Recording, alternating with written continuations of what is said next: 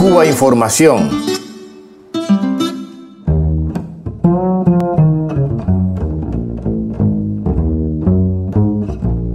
La coalición de poder económico, mediático y judicial de Brasil ha condenado a prisión al expresidente Luis Ignacio Lula da Silva por un delito no demostrado. Gracias a la figura jurídica de la delación a cambio de beneficios procesales, el dueño de la constructora OAS confesó la entrega de un apartamento a Lula en calidad de soborno, pero en la propiedad no figura su nombre, tampoco en el certificado de compraventa.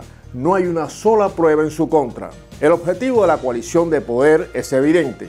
Lula es el candidato favorito en las encuestas electorales. Es la opción de izquierda que puede paralizar y revertir el giro neoliberal de Brasil tras el golpe de Estado que derrocó a la presidenta Dilma Rousseff. Igual que en Venezuela, en las calles de Brasil vemos dos países, el de las clases medias urbanas, seguidistas de las élites que controlan los medios, la minería o la agroindustria, y el de millones de personas que salieron de la miseria y el hambre con los gobiernos de Lula, a las que se suman los principales sindicatos y movimientos sociales como el de los trabajadores rurales sin tierra.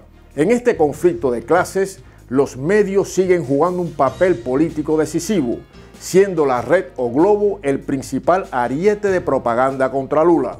En Venezuela y Brasil habrá este año procesos electorales cruciales y las oligarquías y la Casa Blanca han puesto toda la carne en el asador para evitar una fotografía para nada improbable la de Nicolás Maduro y Lula da Silva presidiendo dos de los más importantes países de América Latina. Con Lula ahora condenado, esto parece más difícil, pero teniendo en cuenta las enormes movilizaciones de apoyo y su creciente popularidad, ¿de verdad es un escenario imposible?